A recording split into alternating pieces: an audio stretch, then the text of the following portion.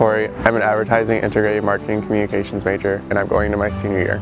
I chose Ferris because of how close it was to home. I'm from the area so it was really nice to be able to just kind of be able to jump into school.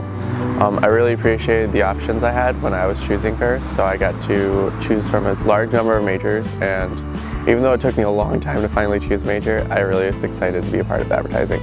I've been involved with a lot of things on campus. I was involved, when I first started, I joined Ad Group, which is the advertising RSO, which was very exciting, and then I got involved with student government.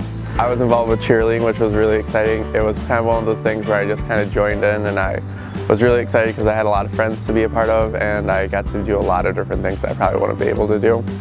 Um, my sophomore year, I was more involved with student government. I got on the e-board and then my junior year, I was I joined PRSSA and was very excited because of all the options and I actually had even more friends when I joined. My name's Corey and Ferris was my first choice.